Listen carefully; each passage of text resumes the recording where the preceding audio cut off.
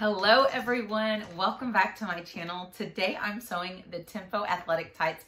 It is a sewing pattern from Greenstyle Creation and I'm so excited to get started on this one. This pattern has some great color blocking lines that are so fun um, on the legs. They're great for using up scraps or if you just want to have some um, really cute details on your tights. They have a great pocket um, that is optional, but I don't know why you wouldn't include the pocket. It's pretty easy and fun to do. And um, as well, it comes in a petite standard and tall file. So pick the, the file that goes with your inseam. The petite file is based off of 26 inch inseam and that's measured to your ankle. So when I buy pants, I buy a 27 inch inseam, but when I buy tights, I get 26 inch because I wear them um, to where they're right at my ankle. They don't go as far down as I would wear maybe jeans. So, um, so just be mindful of that. And um, the 29 inch is the regular or standard file. And then the tall file would be for 32 inches um, for your inseam. So once you've picked your file and then you print, I'm gonna go over all the pattern pieces. Let's, let's go ahead and head over and I can start showing you the pattern pieces. Okay, so let's talk about the pattern pieces. Um, the first one I wanna show you is the waistband. So on the waistband, you have lots of different options. Um, first, you have the shape of the bottom. So if you want the heart shaped, then you're going to cut along here. So let me show you without it cut so you can see. So you are following this higher line right here and then scooping down if you're doing the heart shape. If you are doing the non-heart shape, then you are following this lower line right here and then letting it scoop like this. I'll go ahead and just outline it so you can see. That would be the line if you are not going to do the heart weight, the heart butt. Um, another thing to choose on your waistband is whether you're doing the high rise or the ultra high rise. So on these leggings, I do the ultra high on all of mine and that hits about right at my belly button. Um, it is not as high as you would have the waistband on the strides um, or on the cavallos. This one hits, the highest point of it hits lower than the highest point on the waistband on those. So I would, um, I would say to start with the ultra high on this because you can always take some off when you try them on, but you can't add once you have taken off. Um, the high rise hits about, a, I would say an inch and a half below my belly button. Okay, that is on the waistband. So now let me show you on the back piece. So you'll also need to cut the Tempo Tights back. You'll cut two of these as mirror images. And then you have an option right here based on which waistband you cut. So you're going to want to cut the one that scoops down. So it's going to go up and then scoop down if you're doing the heart booty. If you're not doing the heart booty, then you're going to cut this shallower line right here and then go up. Another thing on the back is you have an optional gusset. So I always just cut the regular one and then I fold back whenever I'm going to cut off the gusset so that I always have that option because um, if I cut this off then I have to completely reprint, reprint this entire piece um, without it. So that is important. Um, now you're also going to need two of the front pieces. Now on the front, you're going to cut whether you're doing ultra high or high. You don't change, the back is the, the same on all waistbands. It's just the front that is different. You're gonna cut two pockets. Now, mind you, if you have directional fabric, you're gonna wanna cut with that fabric facing like this. It shows you on here. Um, you're also going to want to, on your pocket, say if you're doing the ultra high or the high rise on your waistband. Um, you'll also have the front of the waistband, and you're on that, you're choosing between ultra high and high. Those are the only two options. That Make sure you chose the same option you chose on the back. You have your lower insert. This is the one that goes on your calf. Mind you, the the grain line is like this, so you're not going to want to point it this with this point straight up. You're going to want to put your ruler down and point your the, the grains of your fabric going along with the grain line of the pattern. And here is your gusset piece. If you're doing the gusset, you're going to want to cut two. And then the finale is the main leg, the leg that goes all along from the top to the bottom of your leg. This is the one that you're going to need the yardage for. Um, on this one, you can shorten or lengthen it right here. So you would just draw a line parallel and either add or subtract. The only time I think you would ever really need to shorten the tempos is um, if you have a lot of bunching of fabric around your knees, then that's because the the knee part is off on your pattern. So then you would need to shorten right here. Um, if you are grading, like your calves are a different size than your hips or your thighs, um, I grade it like this. You can see how I graded from a D to an E. So I just drew a line. I used my ruler so that it was straight. And I just started at the top of this. And then by here, I was at the size calf that I needed. And I actually went up two sizes. Um, so I went over the knee, I went from a, I think, I guess it was a D to an E. Um, and then I went from an E to an F over my calf. So you can kind of see that. So I went like halfway here, but then I went the full way here because this is where I really need it is along here for my calf. Um, an important part is where to cut on these. You have all these, and if you've graded a lot of sizes, I would recommend on this particular pattern page to only print the size you need for your hips um, because otherwise you're going to have lots of crazy lines right here. So use those layer functions so you only have four to choose from as opposed to like 16. Um, so you're going to cut at the very top if you're just doing no pocket. If you're doing no pocket with the high rise as opposed to the ultra high, then you're going to cut right here because you're the the difference in the rises is only really in the front um me in on the waistband so it's right here it's going to scoop lower on the pattern piece.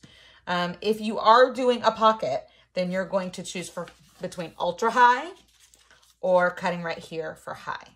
So they, cut, I really, I thought there was like an error in the pattern whenever I brought this out because at first it doesn't make sense, but trust the pattern on where to cut. Another thing you're going to want to make sure is that you make these markings on your fabric and then you make the marking for the front and you make the marking for the back. Because if you get these two switched, then your back rise is going to be super low and your front rise is going to be super high and you're going to be like, what is wrong with my tights? Okay. Okay, so on grading your pattern, um, let's say that you have hips that are in a different size than your waistband. Well, I wouldn't grade any on the top of your hip. I would just cut out the waistband that corresponds with your waist size and then the hip that corresponds with your hip. Well, if you have a thigh that is bigger, then I would grade up for thighs because if your thighs are too tight, it can make, it can pull your pants down because um, the compression there. So let's say I printed out three sizes. I printed out D, E, and F. And let's say you needed to grade from a D and you needed to grade up two sizes to an F. So this would be, your hips are a D. So this is the line you would be cutting out for your hips.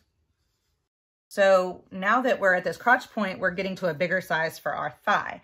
So that means on this side, you're slowly going to come from here to here. So I'm going to just slowly draw and see how I'm not a very good, I'm not very good at drawing, but I'm just trying to get a smooth curve and then I'll eat, and then I'll kind of ease that. So you see how I went from the smaller size to two sizes bigger here. And then on here, I'm gonna start at the crotch point and I'm gonna go up two sizes as well. So this is a D hip with an F thigh. And then I, on whenever you're grading on your main legs piece, how I showed you how you can go into calves. So you wanna start on your main legs piece where, let me grab it. Okay, so in on your main leg piece, I showed you where to, whenever you're grading for calves, you're gonna start right here and then kind of go over the knee. And then on the calf, you're grading here and you're going to print the calf insert that goes along with your calf measurement. So you don't have to grade on the bottom, the bottom leg insert. You just print the size that goes whatever your calf is. Okay.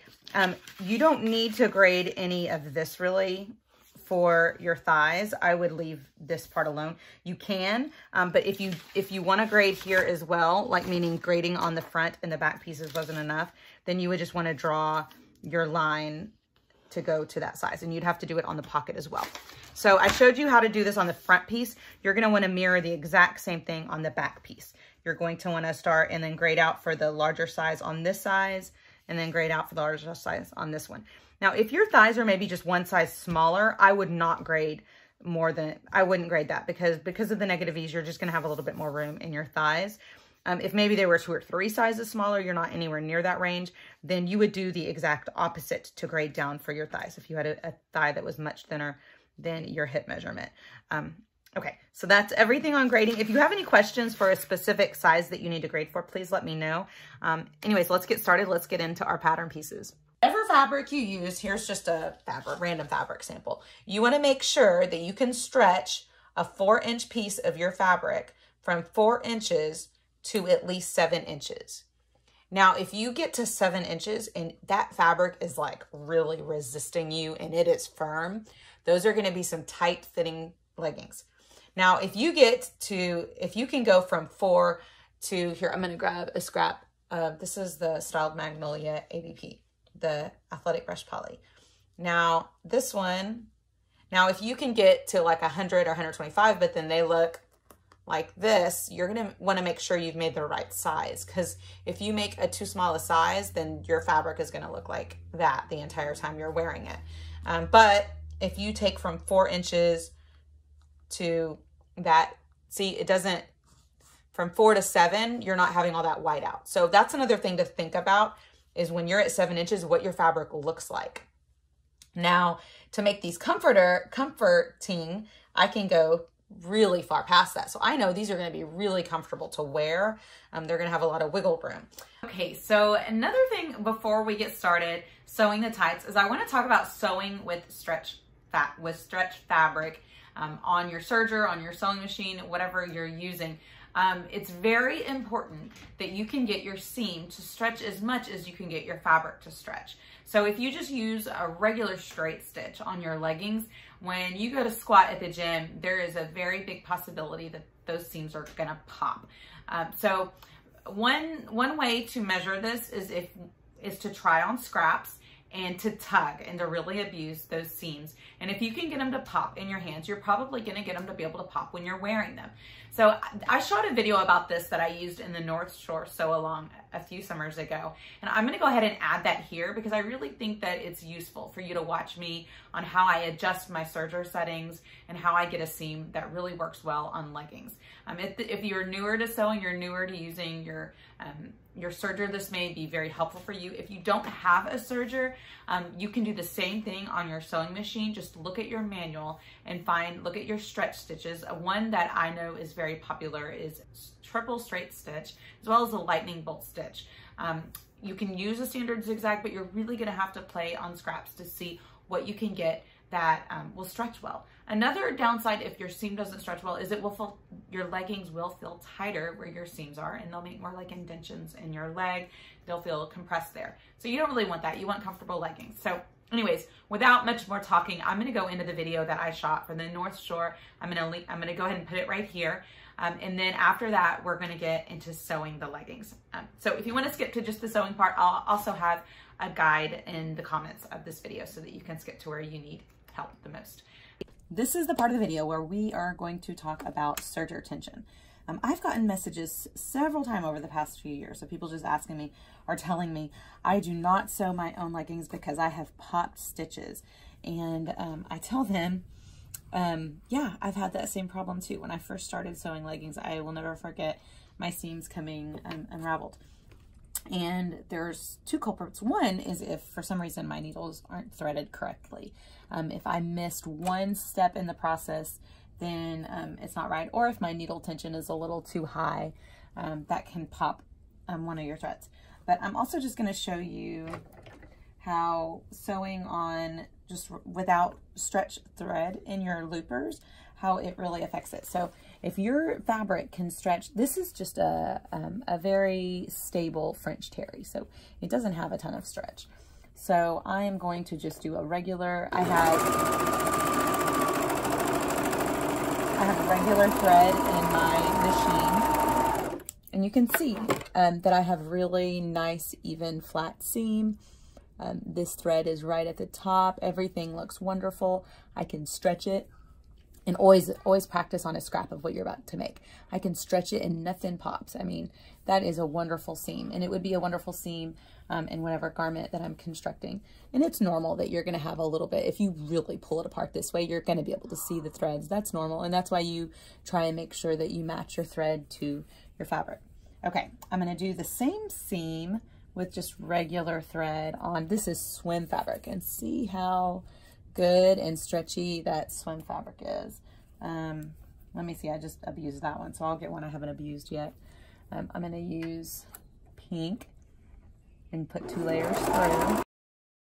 Look, if you just look at it, everything looks just as good as it did on the French Terry.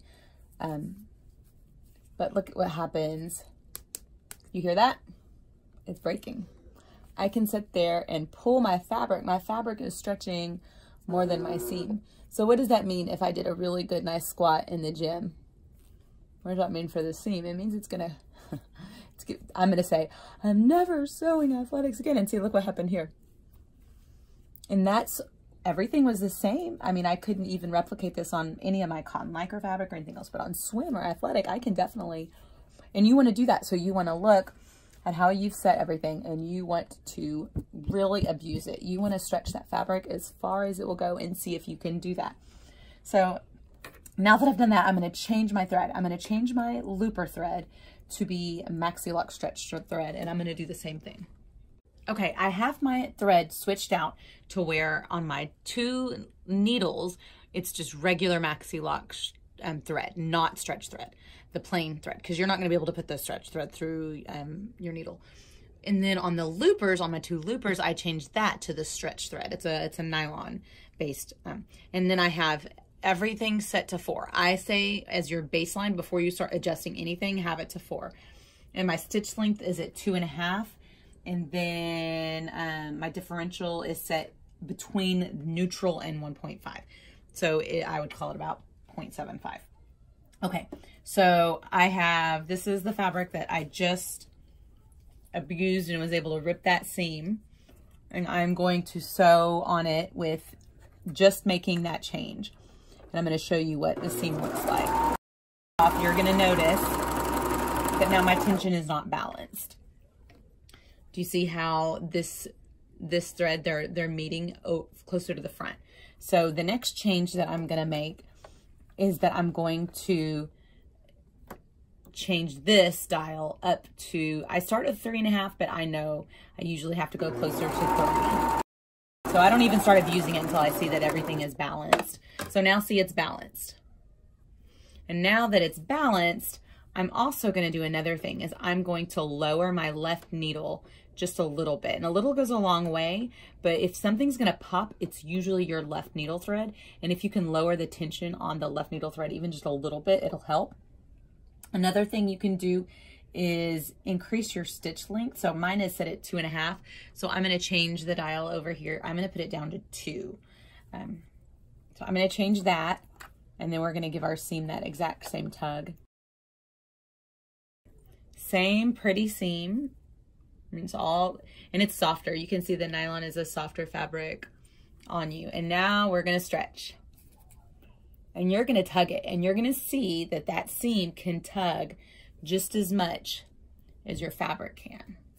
And if, and if you can break it yourself, then if, you better believe me, if you do a power squat, that you can break it then too. Nothing's broken. Look how it held up so nicely. And all I had to do was, and I adjusted this this looper just because um, I've just noticed that that's how I get mine balanced on my machine. Yours might be different. So you're going to sit there and play with it to make sure that your yours are balanced. And then I adjust my left needle because I just know that's usually the culprit um, that's going to pop on mine.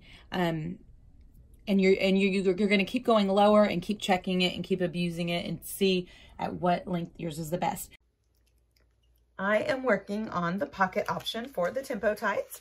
And if you are not doing the pocket, then you'll just want to make sure that you have cut at the appropriate line on here, and then you can skip this step.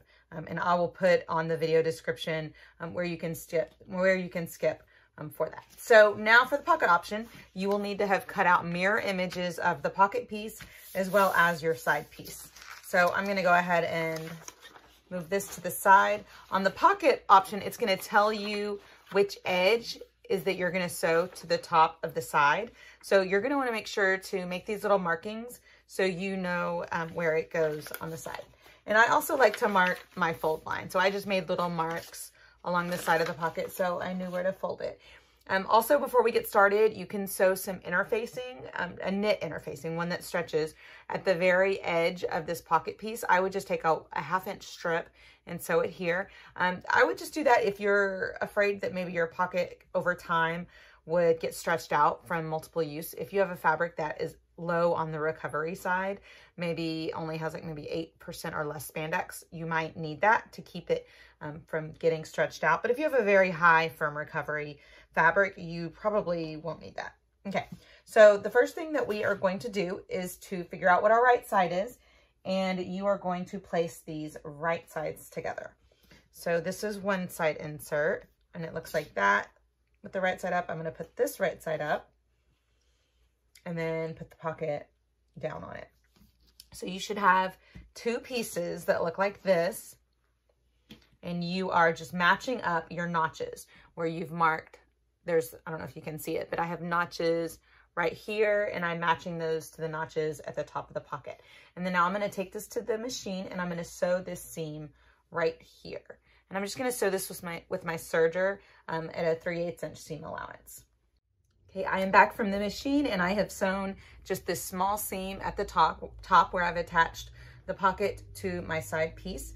And this is the right side facing up right here, and this is the right side of the pocket down. And all I'm going to do is flip it to the back on both so that this seam looks like this. So you're going to flip it to the back like that. And then now that it's flipped to the back, you are going to fold it at the fold line to where it looks like this. I'm Just gonna kind of move it around until it all matches. And you should have about an inch of this pocket piece just peeking out at the top. And that's the reason why on your different cut lines that you have on your pocket piece or on your side, um, that they're an inch lower for if you're doing the pocket is because the pocket is going to extend out an inch. So I'm going to do the same thing on this one. So I'm going to reach under, fold it, put it down. So now you're just kind of messing it, like moving it around. Another thing is if you want, you can top stitch this down before you fold it. You can like top stitch it if you don't want this seam to accidentally poke out, especially if you've used a different fabric here um, for your pocket. You might want to do that.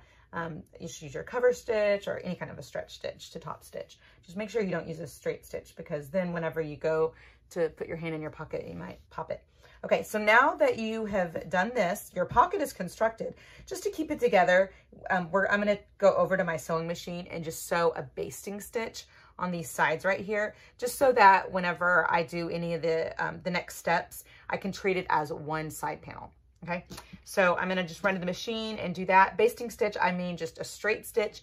That's the longest stitch your machine has because you, I, I like to remove basting stitches. I don't like to keep them in there. They're really just um, in place of using pins or clips. So if you don't wanna do a basting stitch and remove it, you can just heavily clip along this area or pin along this area to keep the layers together. Okay, now our pocket is complete and we are ready to assemble our legs.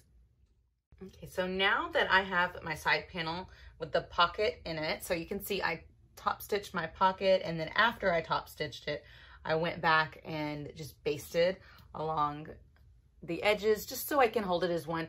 Um, whenever you're top stitching, you're gonna wanna make sure that that seam doesn't roll out, that it either stays at the top or rolls slightly inwards like that. Um, and then you can top stitch it with any stretch stitch. Um, I did my cover stitch to where the underside is showing out. And now you're gonna grab your front piece and it should look like this. And you'll have two mirror images that look like this. And you're going to put it right sides together on the front. So you know which one is the front by two different ways. One, you're gonna have a marking and it's just the single marking right here on the pattern piece. It looks like a little triangle. On the back, there's two, so you should have two lines, two dots. Um, and on the front, there's one. Another way to tell if you forgot to do your markings is that on the top, the front is the one that dips lower. So if you look at this, the back is gonna be higher and the front will be lower. So um, you're gonna grab your front pieces and figure out which one's the right side. And then I, I like to just start by putting it up next to the piece that it goes, that it's gonna match with. And then now we're gonna turn these and put them right sides together. So I'm going to flip this over and you should have also made a marking on these and you're gonna match those points. That'll help you um, whenever you are pinning everything and sewing it to make sure at a halfway point that everything is matching up. So I'm gonna go all along this curve and I am a big proponent of clipping or pinning, um, at least somewhat. Used to I just winged it, but I realized that I do a lot less seam, seam ripping when I don't wing it. So I'm gonna start with, I'll I'll clip at that point to match up my markings and then I'm gonna head over to the beginning of my seam and the end of my seam and do those. You're going to wanna make sure that you have a dog ear so that your seam line is meeting. So wherever the 3 8 inch from the edge is, that's where those need to meet. So I'm gonna mark that first with a clip. I'm gonna go to the other side and do that. And on the on this side, you're not gonna have a dog ear because it should match up perfectly. So I'll go ahead and just put that there. And then now I am going to just kind of ease this in, put maybe a clip or two in the middle. So on this one, you can tell it's it's gonna take more easing on the bottom because it's a curve. So I like to just kind of stretch it like this make it match, and then put clips along it. You can do this while you're sewing, but it's just so much easier to do it before you head to the machine because then you can have it evenly um, eased in here. So you're not stretching all in one spot and then not stretching in another. Because if you stretch in the wrong spots or you stretch too much in one spot, it's gonna create puckers in that seam. But if you, you ease it in evenly, then you're gonna have a very nice seam line. So you see I put a lot more clips where I know I'm gonna have to be easing it in and this is gonna lay really nicely once I've sewn that. And I can tell that just by looking at where I've clipped. So I'm gonna do this on the other one and then we're gonna head to the machine and you're gonna use a stretch stitch. I'll use my serger and I will sew a 3 8 inch seam right along here with these right sides together.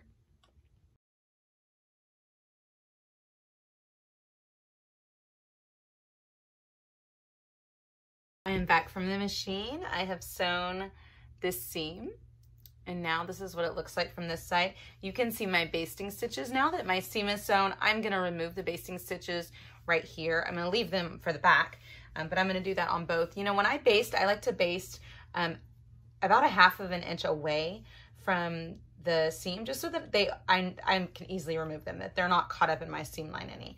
Um, but if you don't want to remove yours, then you want to maybe do it a quarter inch from the edge so that you can, they're not showing on the right side um, when you leave them. So after I remove my basting stitches, I'm going to take this and I'm going to top stitch it on the cover stitch machine.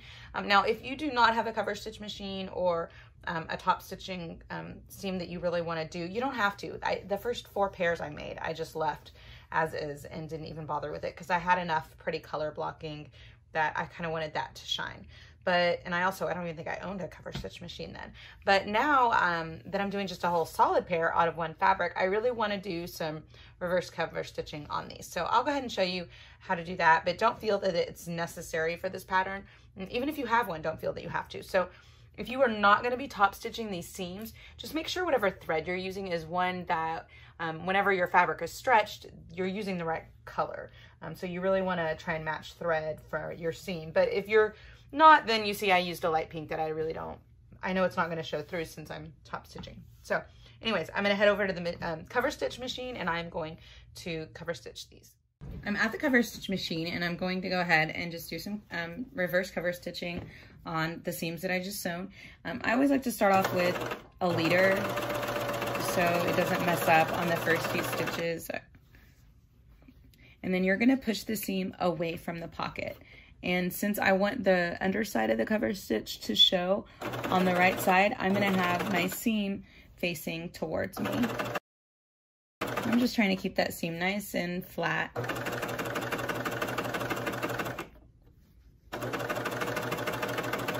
You wanna make sure and test this on scraps before you do before you do it on um, your actual product, just to make sure you like the thread, that everything is balanced that your seam is stretchy enough.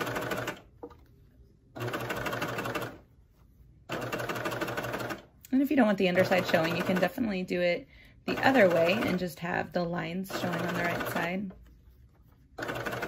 And I'm also making sure that my very far left needle hits on just the outside of the seam. I'll show you whenever I finish this where the stitching is happening. So if you like that look, you can easily do the same.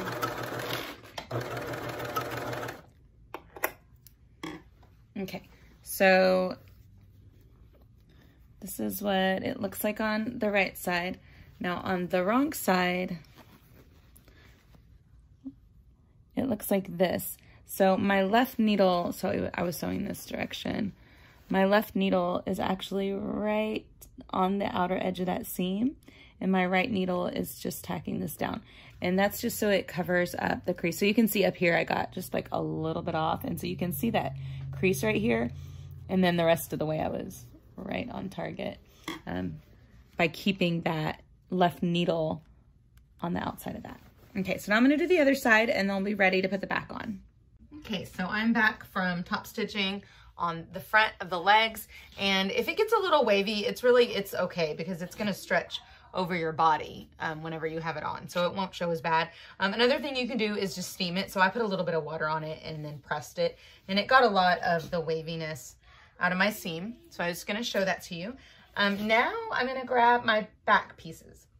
So your back pieces should have the double triangle notches um, that you should have marked on there. And you're gonna match those up. So you're gonna put right sides together. So I'm gonna see which one matches first before I do that. So I'll see, yep, that goes with that one. And then this one goes with this one. I always check this first so I don't accidentally put them on the wrong one. So I just check that this is gonna have the right curve whenever it's sewn. And then I turn it over right sides together and I match up these notches. So I match that first, and then I'm gonna do the same dog ear like I did on the front on this piece. And then on the top, you won't really have a dog ear. It's gonna match evenly. Oh, actually, yeah, you have just a very slight one on the top. Because you're mainly, whenever you're clipping it, you're making sure the seam lines match up. You're not as um, worried, I guess, is, or concerned about the edge of the fabric as you are about lining up the seam line. So this one is a very slight overhang in order to get the seam lines to match up. And then I'm just gonna put a few clips in between these by just kind of stretching this out and making the edges meet. And then I'll put a clip here. And then on this one, you're matching curves. So you're just gonna kind of ease this around is what I do, like lay them flat. I'm gonna do it from this side so I can show you better. And you see how it's kind of edging over, so I'll just kind of pull this and put some clips on here. Okay, I'm gonna do the same thing on the other side and then take this to the serger and we're gonna sew them right sides together.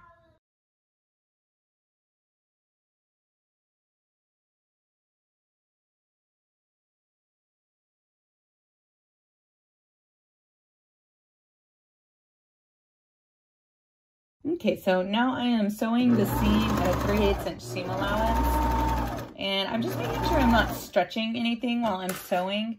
Um, if you do, it definitely will make your seam um, like nice and wavy and stuff. And you don't really want that. You just want to make sure everything is going into the machine nice and flat. Now you are going to be easing it around these curves, but if you've clipped it really well, then that easing should not be that bad. So you can see like I'm coming along an area where it's kind of um, wavy right here. And so I'm just going to stretch just enough so that it goes in flat.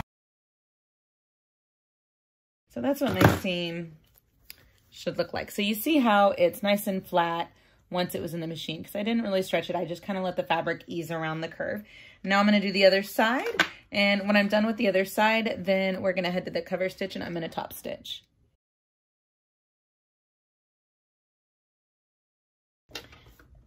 Okay, I am at the cover stitch machine and I am ready to top stitch this seam down. I always start with a leader, like I said, just in case if it messes up, it messes up on that and I'm not having to rip stitches out of my main fabric. And I'm gonna press this seam away from the pocket. Um, the reason I do that is just because I really don't want stitching in my pocket. It kind of reduces the amount of pocket space that you have. Um, so you kind of want it to go to the body. And on this one, I'm making sure my outer needle is just outside that seam so it can cover the crease.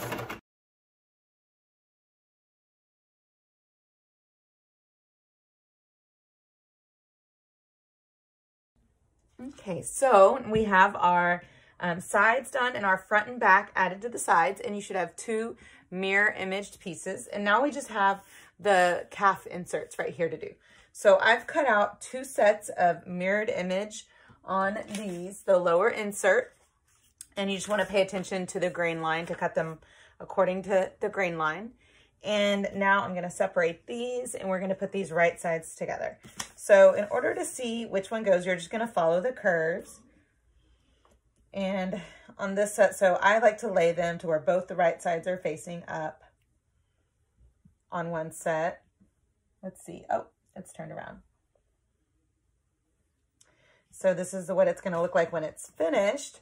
So I'm just going to flip this around like this and um, I'm just going to pin it onto here right sides together.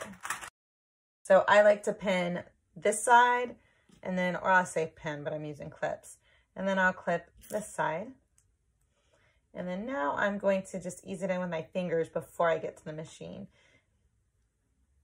So it's actually easier to flip it over this way because then you can see the part that's hanging over and then you can kind of ease it into it like this. And you definitely want to do this before heading to the machine. Because if you try and just guess how much you need to stretch or ease, you're going to guess right, maybe 20% of the time. Depending on how long you've been sewing, you might guess right 70% of the time, but that means you're using your seam ripper when you don't guess right. And usually after you've sewn a pattern several times, you have a feel for what it's like to ease an area.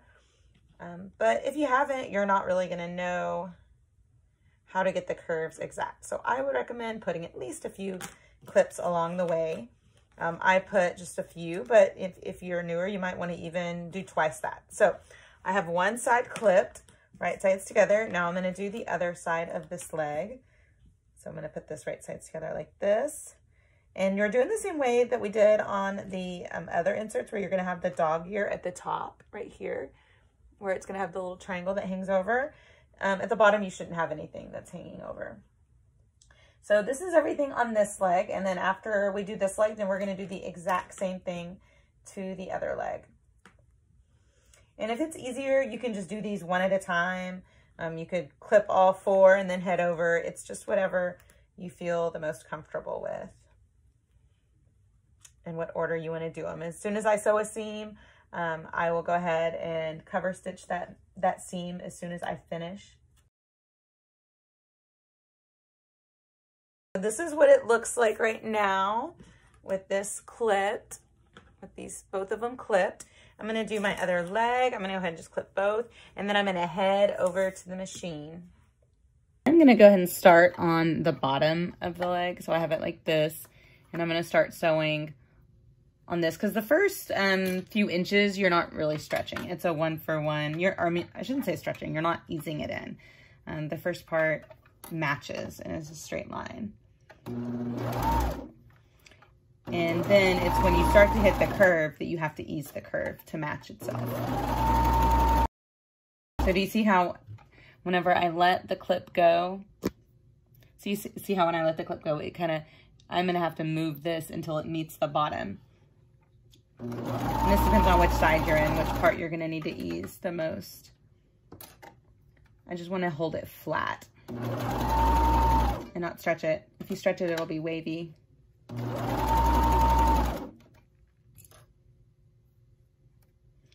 Now I'm just to make sure that I have the little dog ear at the end.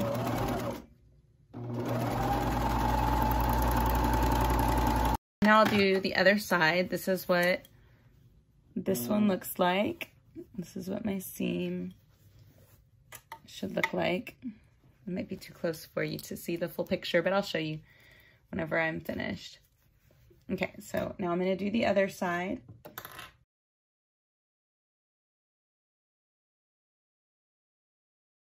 Okay, now it's time to cover stitch this um, seam. And when I cover stitch it, I am going to be pushing um, these seams to the inside because they naturally, I mean, you can push them whichever way that you want, but I noticed that they naturally want to lay this way towards the inside because of this round curve right here. So I'm going to push them both that way and then top stitch that seam down.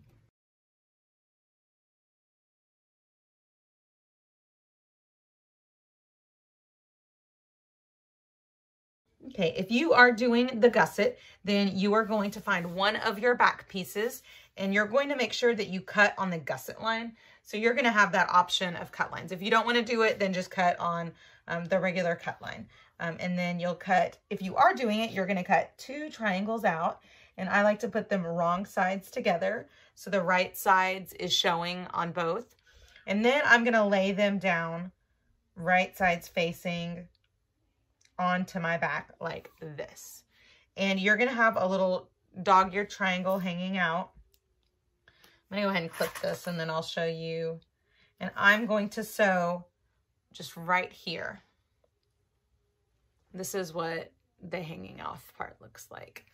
And I'm gonna sew this, I'm gonna use a 3 8 inch seam allowance. So I lined this up at the seam line and then I'm just gonna quickly sew that. And then after I do, I'll fold it over and then top stitch that seam down. And when I top stitch the seam, um, actually, whenever you top stitch it, you're gonna top stitch it towards the gusset. So push the seam allowance towards that gusset and then just do a quick top stitch right there. And then when you sew your crotch seam, you can top stitch the other side of it then. Okay, so now we are going to put our two leg pieces together. So you should have two pieces that are mirror images of each other that look like this. And we're gonna put them right sides on top of each other. And I'm going to line up the crotch seam. So this is your front seam, your front crotch seam. And you're just gonna line up that seam line. And we're going to sew this one with a 3 8 inch seam allowance.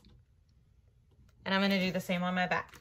So if you did the gusset or you didn't do the gusset, um, it, it's the same motion. So you're just lining up the seam line.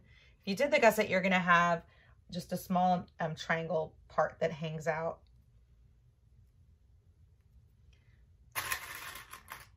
You just want to make sure you're lining up your seam line, not necessarily the edge.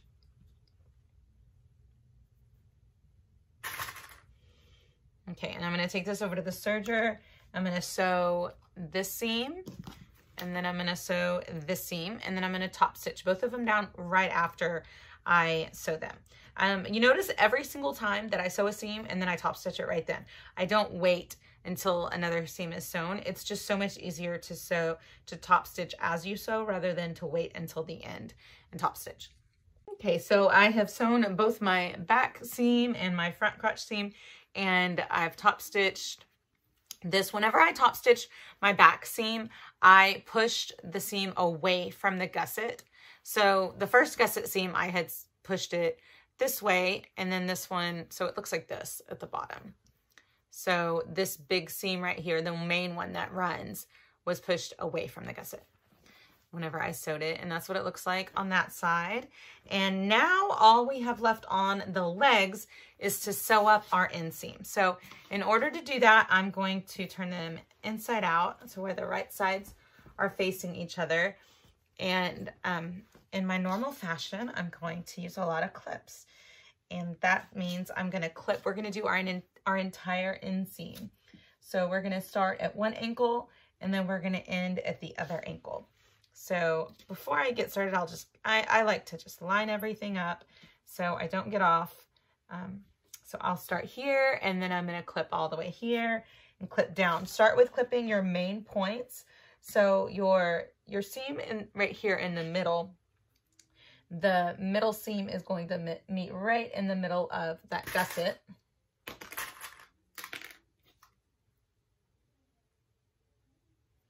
And then I'm also going to clip where my different like seams meet because you don't want to be off on those.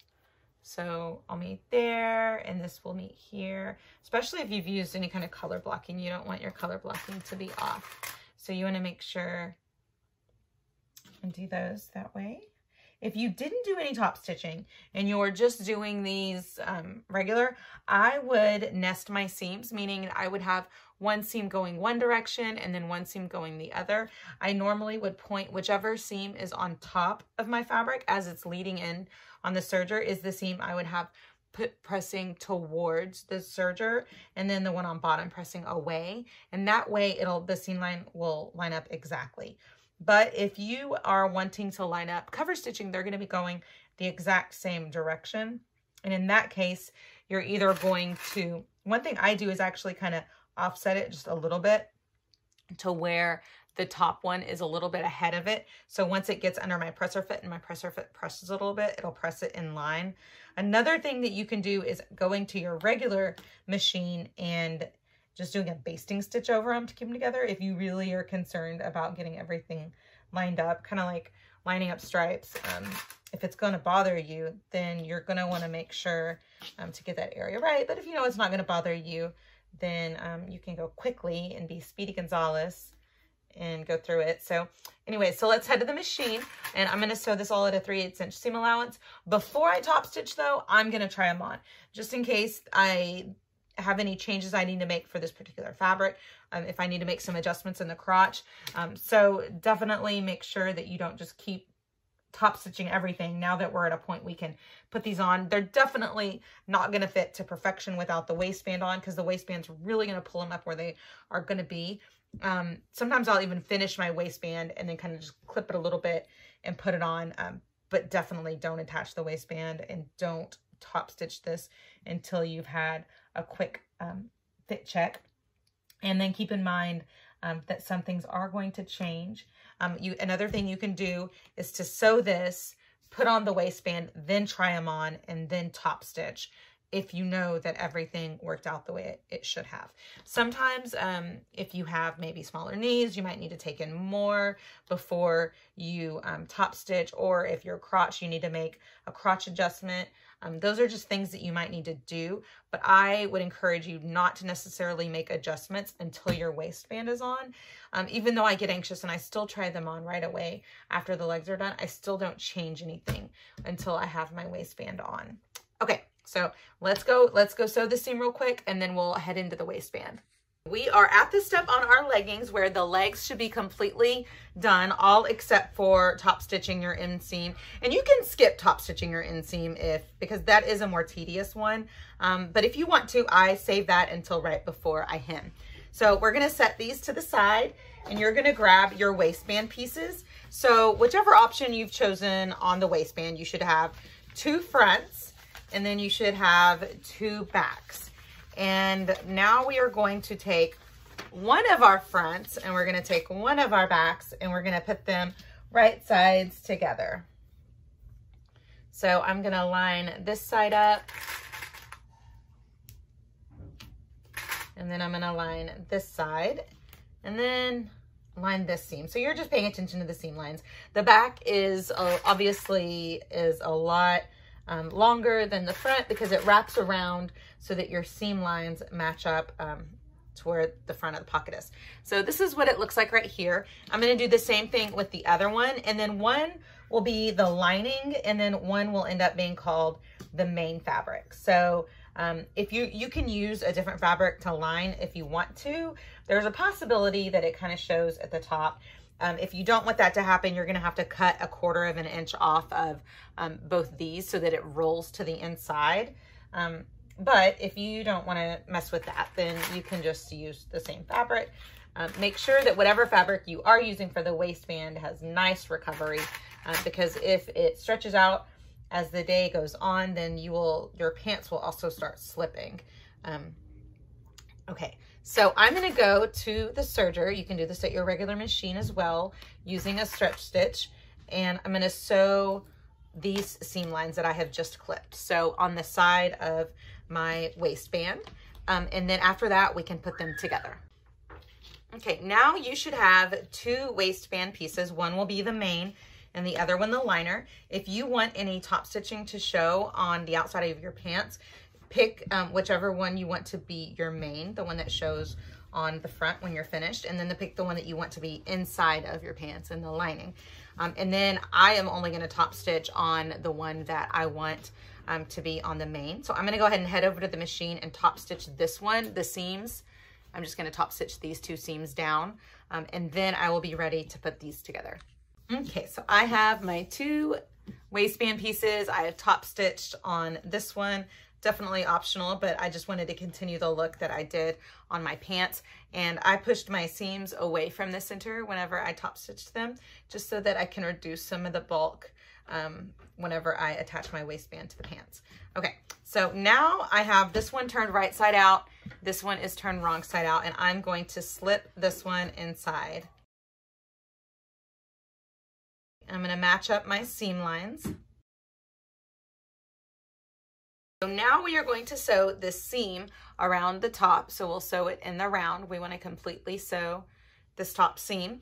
And a lot of people like to put um, elastic in this one, a quarter inch elastic, and it makes your tights stay up um, really tight against your stomach so that um, they do not fall down at all. And that is the secret to not having slipping tights. Um, other people like me, I can't, I have like issues with that. I can't stand elastic pressing on my stomach.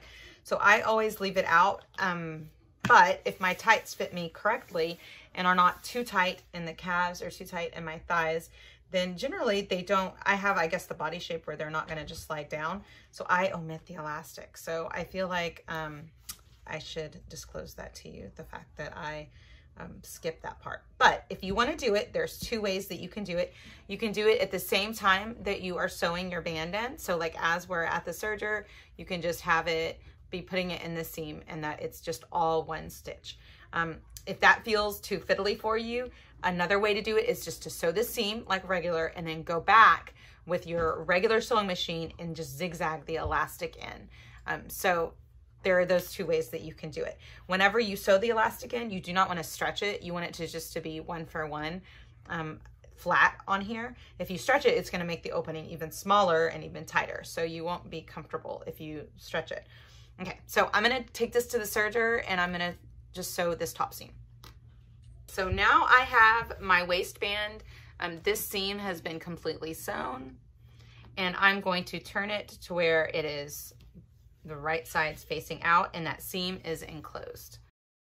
And I did the hard option on this, which is the V on the back, the heart point on the back. And if you are not doing this option, then this part is gonna be super easy for you. You are just going to attach this right sides together to your main tights and sew it on. But if you chose to do it this way, then we are going to baste. So the first step is that we're gonna take these two layers right here and we're gonna sew these together. So we're gonna sew right here with our regular sewing machine with just a long straight stitch.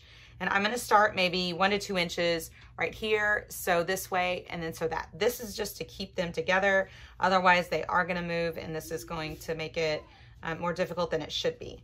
So also make sure that you've made a dot where your dot should be.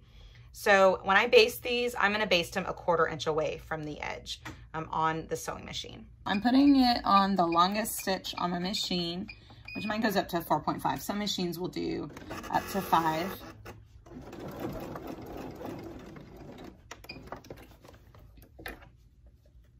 I'm just gonna pivot right here.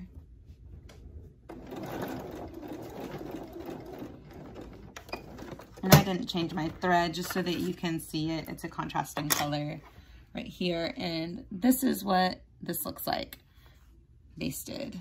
Okay, so I have my the top of my tights and then I have my waistband and I'm just going to see how it goes. See, it's gonna look like this when it's finished.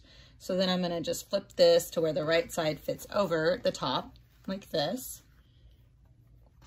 And hopefully if you have, you've marked your center points, you can match them up. If you haven't, you can kind of see where the center is and match that with the center on your tights. I'm just gonna match it by the seams. And I'm gonna put a pin, a clip here, and then I'm gonna do the same and put a clip here. You want clips at least every seven or eight inches, just to keep you on track. I'm gonna start at the back of this V, and I'm gonna take my V and I'm gonna line it up on my waistband like this. Actually, I'm gonna do it from the pants side. It's just easier for me to see it and to not accidentally get it wrong. So I'm gonna pivot this pants to match, to match here. I'm gonna sew, I'm just gonna start about one to two inches before it, and I'm gonna sew up until I get to this seam where it where I need to pivot to the V, and then I'm gonna sew down. I am now at the machine and I'm just two inches away from this V, and I'm going to sew Actually, I started too close. And I'm gonna, my first stitching is gonna be basting because the first time I made these, I had to rip stitches so many times that I realized that my life was just so much easier if I basted first and then if I liked it, then did securing stitches over it. Okay, so I'm gonna start here and then just sew some basting stitches 3 8 inch away from the edge until I get to this seam line and then once I get to the middle of that V, right where the seam line intersects with that V, then I'm going to pick up my presser foot and shove the fabric out of the way because you're gonna have the excess fabric. And then I'm gonna line up my seam line for this part. And then once I have this fabric out of the way, I can put my presser foot back down and then you're just gonna sew like about one or two inches away. And then all that's sewn right now is your V. And it looks like this. And is what we're gonna do is take a look and see if we like how we did it. And if you're happy with it, which I am surprisingly happy with mine, and I'm going to go back over it and then use, use thread that I like. I'm going to just go over it with my serger probably. And then I'll take out these, I'll take out my basting stitches since I didn't use thread that I like. If I'd used thread that I liked, I would have just left them there. Um, so I think I'm happy with that and I'm going to leave it. But the key was, here, I'll, I'll kind of walk you through it with my hands, was to sew on which side did I sew on? I sewed on not the waistband side. I sewed on the pants side. Um, and the reason I did that is because this is where you're going to have kind of some excess fabric. So I sewed on this side. I sewed down until I got to this seam line where I know that V. Do you see the top V where that is? So directly on. And if it helps you, you can even just draw a line right here and your seam line should be right. And when I say seam line, I don't mean the seam allowance that's showing, I'm talking about where the two seams meet. So right here, that should be completely even with this V point at the top. And whenever I got to that point, I put my needle down and picked up my presser foot and then shoved this excess fabric to the side out of the way and then sewed the rest of the seam. Okay, because that's what makes a, I think a V kind of hard. And sometimes you'll see bunching at a V is when you have this excess fabric here, and it depends on where you move it. In your first line of sewing the seam, you're, you're moving it out of the way so you can sew this. And then when you get to the middle of your V, you're moving it back this way so you can sew the rest of your V. But if you sew it from the waistband side, there's not gonna be any of that excess fabric and you're gonna think you sewed the most amazing V ever. And then when you turn it around, you're gonna have this bunching on this side because you didn't know when and where to move this fabric out of the way. So I hope that explains that well for you. Um, now I'm going to move over to my serger and I'm going to sew the rest of my waistband on. So I'm just going to go down one side all the way around and then end here. If you're doing a regular waistband and you didn't have to do a V, then you just get to go straight across. Um, okay, so now to the serger to do that. Once I'm done with that, I'll be ready to top stitch the seam down um, and then finish some cover stitching that I want to do down the legs and then hem.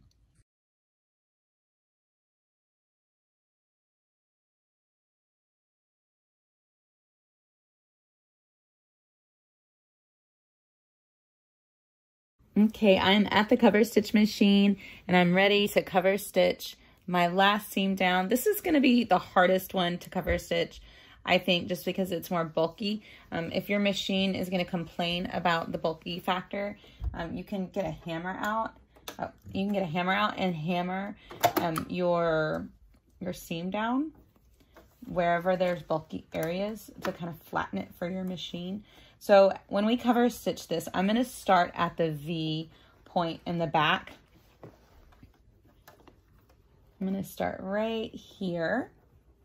And I'm going to start on one side and go up and then finish on the other side because you can't really make a, a very good V with a reverse cover stitch, or at least I can't. Um, shouldn't say you can't, but I can't. I can't really make a very good V with a reverse cover stitch, so I find it easier to just start there. And I'm um, cover stitching the seam towards the body of the pants and away from the waistband. That's just what I, I've always done when I've done it, but you might find it easier to do it towards the waistband.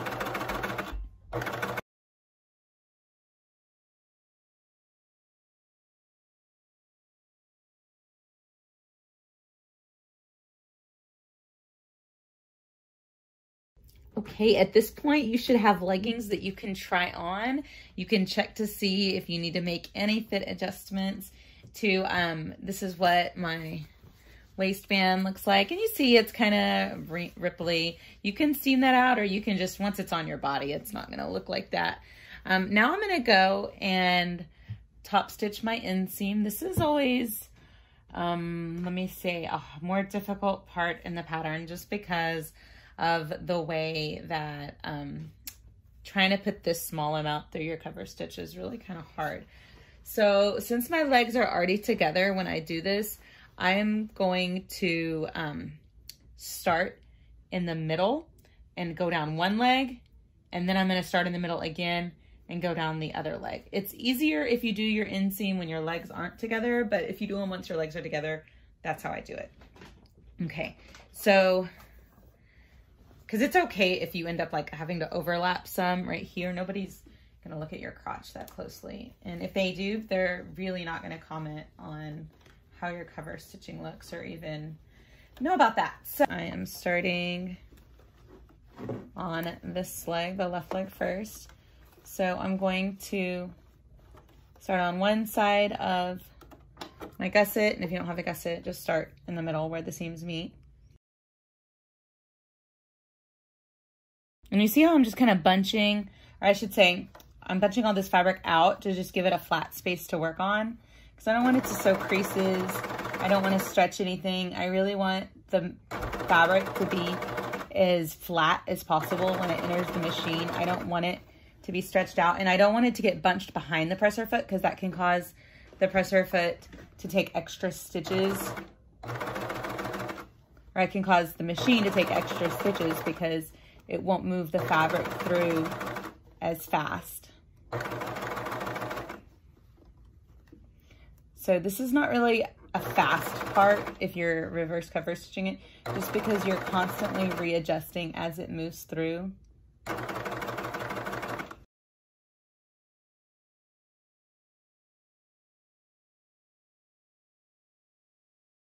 Okay, I'm ready to do the other leg. Um, I'm really happy for the most part with how this leg turned out. It did pretty good job. There's only a few spots it took a little extra stitches. And then at the bottom, it caught some of my turger, my, my serger tail in this. So I think I'm going to trim my serger tails on the next leg so that they don't accidentally get caught in my cover stitch machine. So now I'm ready to go down to the down the next leg. I'm going to start again at the gusset. Now remember on your gusset, you want to kind of you want to push that seam to the back. So you're if you are top stitching your inner leg seam, you want to make sure that your inseam is pushed towards your butt and not towards your front, just because of the gusset my waistband is so tall. I'm like, where is the inside of my pants? I love the tall waist on this. It's just wonderful. Because of the tall waist, I really don't have to um, use that elastic in it. And I, it's just so comfortable. And so I'm starting just right where I left off on the other side. And at the beginning of a cover stitch seam, you're like, this is so easy. I'm to finish this in just a minute. You don't realize that once you get near that ankle, it gets a little bit harder. So um, enjoy yourself. enjoy yourself while you can. Um, anyways, what was I saying about the waistband? The waistband is just, it's so wonderful how I've had five kids and it just kind of holds things in. I can do different exercise postures and I, I feel like my stomach is secure.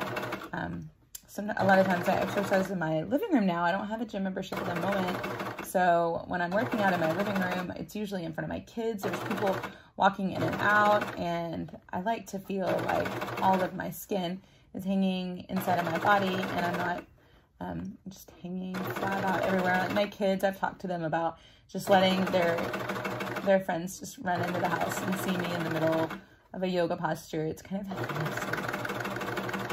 I should edit that part out.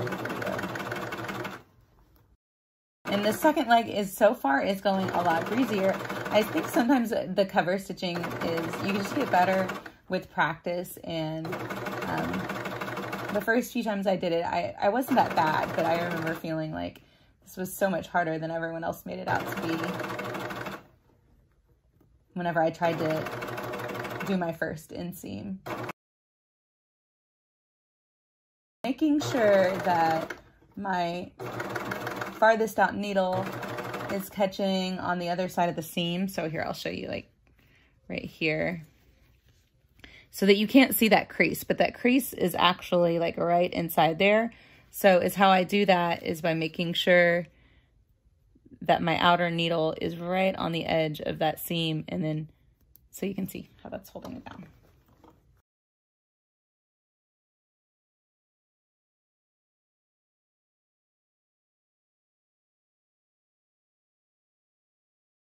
Okay, we are ready to hem.